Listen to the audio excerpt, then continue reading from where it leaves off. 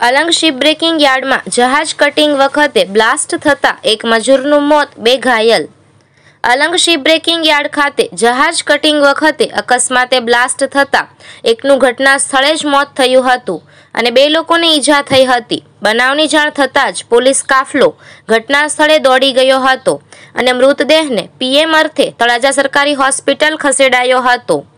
બનાવની પ્રાપ્ત થતી વિગતો અનુસાર અલંગમાં આવેલા પ્લોટ નંબર વી એકમાં શીપ કટિંગનું કામ ચાલી રહ્યું હતું. તે દરમિયાન રવિન્દ્ર રામ બચ્ચન પ્રજાપતિ, ઉંમર વર્ષ ચાલીસ, જેઓ બત્તી ચલાવવાનું કામ કરતા હતા. તે સમયે ગેસ ટેન્કમાંથી ચલાવવા જતા અકસ્માતે બ્લાસ્ટ થયો હતો. જેને લઈ મજૂરની ઓળખ થઈ ન શકે તે રીતે તેને ગંભીર ઈજાઓ થઈ હતી અને મોતને ભેટ્યો હતો. અકસ્માતમાં એકનું મોત અને અન્ય બે વ્યક્તિઓને ગંભીર ઈજાઓ થતા હોસ્પિટલ ખસેડાયા હતા. જ્યારે મૃતકના મૃતદેહને તળાજાની સરકારી હોસ્પિટલમાં પીએમ અર્થે ખસેડાયો હતો.